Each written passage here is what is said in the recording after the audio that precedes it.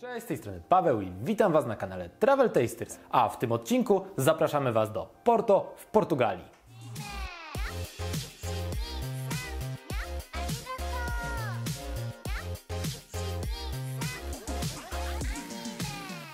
Na naszym kanale staramy się pomóc w planowaniu wyjazdów, jak i podróży z nastawieniem na turystykę, zwiedzanie, pyszne jedzenie, historię oraz kulturę.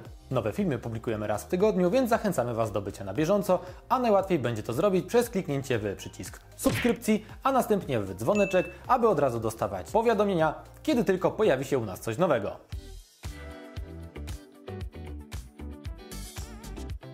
Na brzegach rzeki Duero istnieje jedno z najpiękniejszych miast Europy. Porto, czyli drugie największe miasto Portugalii, to nasza kolejna propozycja dla Was na kilkudniowy wypad. Chociaż to miasto jest najpopularniejsze w czasie wakacji, to jednak niezaprzeczalną jego zaletą jest to, że można tutaj przyjechać praktycznie przez cały rok, a wręcz kiedy u nas w Polsce panuje zima, może być to najlepsza chwila, żeby wyskoczyć na parę dni, złapać trochę słońca, a przy okazji unikniemy tłumu, który pojawia się tutaj właśnie w czasie wakacji.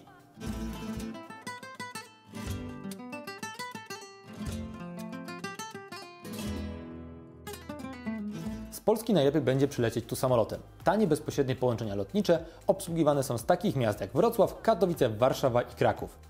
Ceny biletów wahają się około od 300 do 500 zł za osobę w obie strony. Lot trwa 3,5 godziny, a samego lotniska najłatwiej do centrum miasta dostać będzie się metrem. Tylko pamiętajcie o tym, że ostatnia kolejka odjeżdża o godzinie w pół do pierwszej z lotniska, a zaczyna swoją jazdę z powrotem dopiero o 5.58.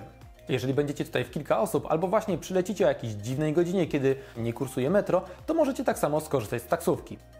Tańszą alternatywą będzie oczywiście Uber i cena za przejazd nie powinna przekroczyć 100 zł.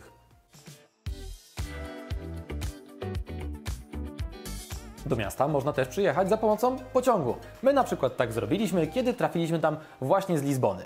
Dokładne rozkłady o tym, jak jeżdżą pociągi, znajdziecie na dole w opisie, więc tam kierujemy Was, jeżeli będziecie chcieli znaleźć właśnie dla siebie jakieś dogodne połączenie.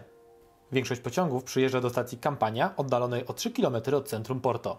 Do samego centrum można dostać się łapiąc pociąg regionalny jadący na dworzec Sao Bento. Przejazd pomiędzy dworcami zajmuje około 5 minut. Oczywiście możecie też złapać taksówkę, cena wyniesie Was 40 zł, albo tak jak my, pójść na nogach, ponieważ akurat wtedy czekaliśmy na odbiór mieszkania, więc nie za bardzo mieliśmy co robić, a że Porto jest przepięknym miastem, to warto się po nim przespacerować.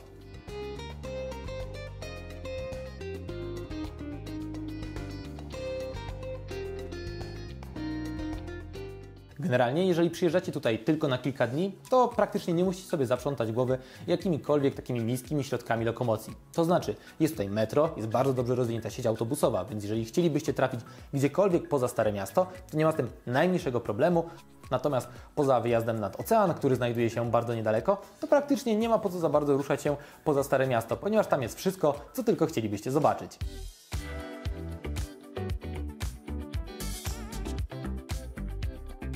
Generalnie koszty pobytu w Porto są zbliżone z każdym dużym miastem, na przykład w Polsce, co jest bardzo miłym zaskoczeniem w porównaniu na przykład do wielu innych europejskich kierunków. I tak dla przykładu, tradycyjne portugalskie ciasteczko kosztuje około 4 zł. Pojedyncze danie z karty w restauracji to około 30 zł. Koszty noclegów natomiast są dość zróżnicowane, ale też spokojnie nie martwcie się, dostępne na każdą kieszeń. Pojedyncze łóżko w wieloosobowym pokoju w hostelu można znaleźć już od 40 zł. Prywatne pokoje znajdziemy w granicy od 100 do 200 zł. Hotele zaczynają się od około 250.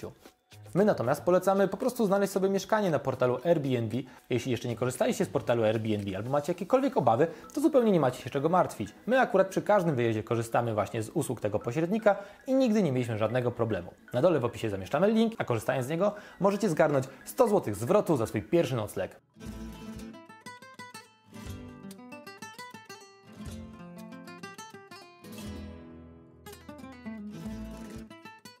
Najlepszymi dzielnicami do zamieszkania są oczywiście te, które znajdują się jak najbliżej nabrzeża.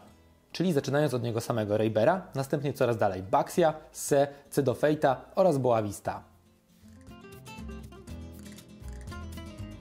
No dobra, to tym wstępem, gdzie przybliżyliśmy Wam trochę logistykę, jak przyjechać do miasta, jak się najłatwiej tutaj właśnie poruszać i mniej więcej na co być przygotowanym, chodźcie, idziemy przejść się po tych pięknych, średniowiecznych uliczkach.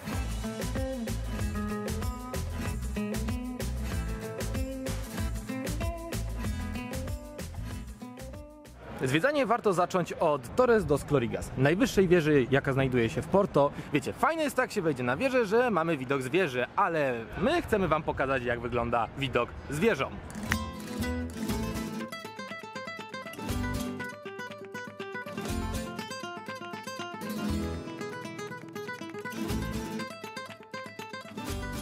A miejscem spod wieży, gdzie pójdziemy, jest to jedna z najbardziej znanych księgarni świata.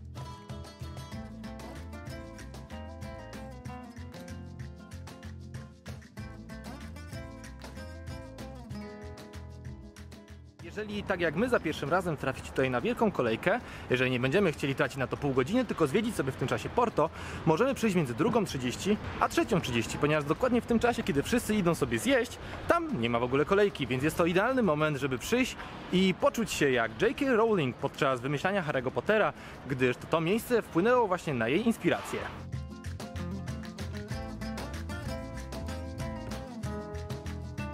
Dalszą część bardzo dobrze jest obrać w stronę Avenidas dos Aliados, jednego z najpiękniejszych placów pod względem zabudowy, jaki możemy zobaczyć w mieście. Jest on duży i szeroki, a na samym końcu tego placu możemy zobaczyć przepiękny pałac władz miasta.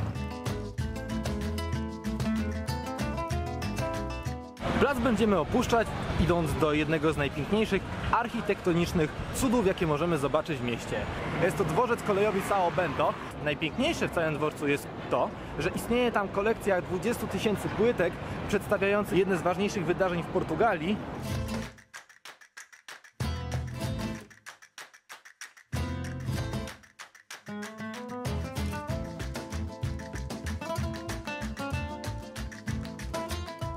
Jeśli będziecie chcieli sobie zrobić zdjęcie najsłynniejszego billboardu, jaki można znaleźć w Porto, to znajduje się on dokładnie naprzeciwko dworca.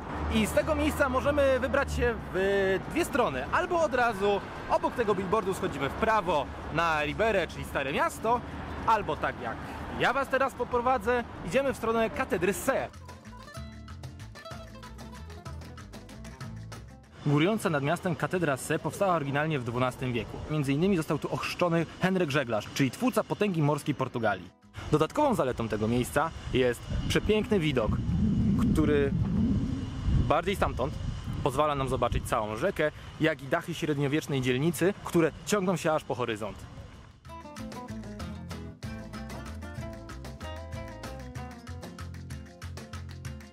Spod przepięknej katedry będziemy teraz kierować się do tego, co jest kwintesencją całego Porto, czyli nabrzeża rzeki Douro. Całość atrakcji w Porto jest skupiona głównie na terenie właśnie tych historycznych dzielnic, dlatego spokojnie spacerem w ciągu jednego dnia możemy przejść po tym, co jest najpiękniejsze, a potem delektować się kuchnią, winem i po prostu cieszyć się chwilą, patrząc na brzegi rzeki, jak spokojnie obija się woda o nabrzeże, albo pójść na drugą stronę rzeki, co też Wam pokażę, ponieważ to tam znajdują się słynne piwnice z Porto, ale o tym, czym jest ten trunek, opowiem Wam, kiedy dojdziemy już do rzeki.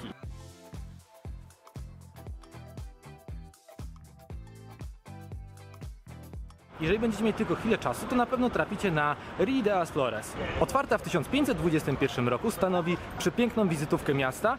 Jej celem było po prostu wytyczenie nowej drogi, żeby poprowadzić z portu prosto do budynku biskupstwa.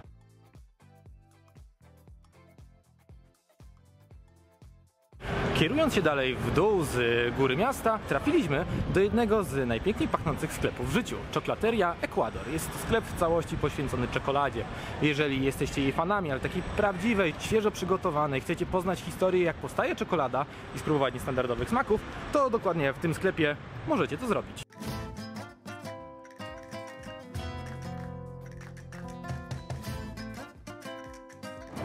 Zanim dojdziemy do promenady, mijamy jeszcze plac Henryka Żeglarza, najsłynniejszej postaci, jaka pochodziła z Porto. Natomiast to, co warto tutaj jeszcze odwiedzić, zanim dojdziemy nad sam brzeg rzeki, to kościół świętego Franciszka. I tam chodźcie, zobaczymy jak wygląda w środku. Bilet wstępu kosztuje 7 euro. Jeżeli jesteście studentami, to już 5,5. I najpierw wybierzemy się zobaczyć ołtarz i wnętrze kościołu, a następnie możemy wrócić i wejść do muzeum, jak i do katakumb.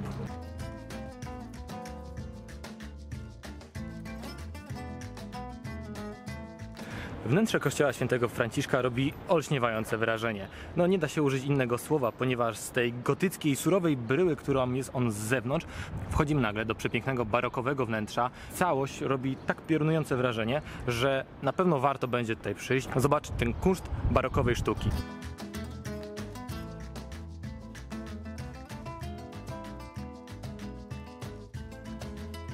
Tak oto doszliśmy do pocztówki tego miasta, nadbrzeżnej promenady. Z przepięknym rzędem kolorowych domów z jednej strony, z niską zabudową magazynową, gdzie do tej pory powstaje Porto z drugiej strony. Jeżeli będziecie chcieli sobie tutaj coś zjeść albo na przykład przyjść na drinka, bo jest to przepiękne miejsce wieczorami, żeby delektować się tą atmosferą, zarezerwujcie sobie z wyprzedzeniem miejsce albo będziecie musieli koczować przed wejściem.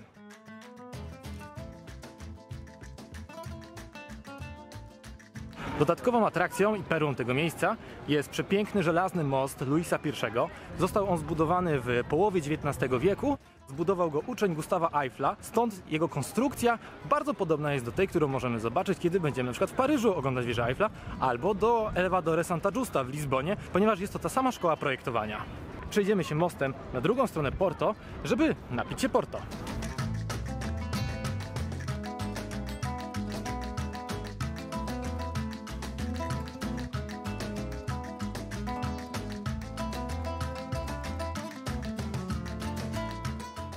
Tak oto przeszliśmy na drugą stronę rzeki, czyli do Villa Nova de Gaia, albo po prostu w skrócie Gaia. Miejsce, gdzie znajdują się wszystkie destylarnie i wszystkie miejsca, które oferują Porto, czyli słynne wino pochodzące właśnie z tego rejonu. Generalnie historia jest taka, żeby przewieźć wino stąd do Wielkiej Brytanii, dolano do niego brandy. Powstał zupełnie nowy alkohol, który tak zasmakował całemu światu, że pijemy go właśnie pod nazwą Porto. Ale zaletą tego miejsca jest też przepiękna gondola, którą możemy później wyjechać sobie na górną część mostu i wrócić z powrotem na tamto nabrzeże.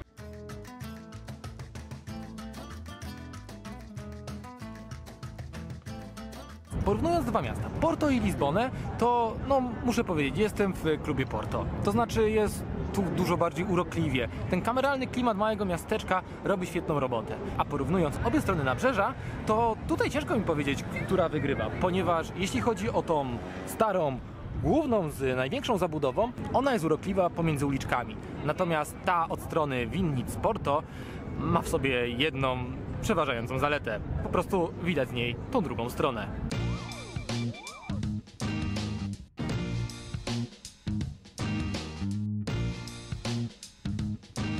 Skoro dzień się jeszcze nie skończył, to czas wybrać się, tak jak obiecałem, gondolą do góry, na drugą stronę mostu i wracamy na Stare Miasto.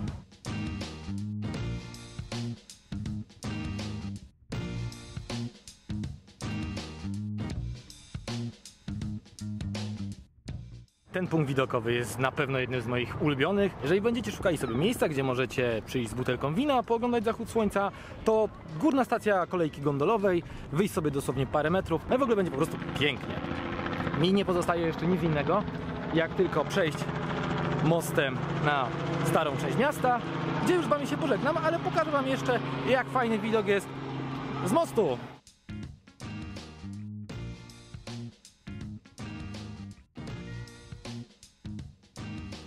No dobrze, w tym vlogu było to już wszystko. Mam nadzieję, że udało nam się trochę przybliżyć Wam to piękne, urokliwe miasto, które leży praktycznie nad samym brzegiem Atlantyku.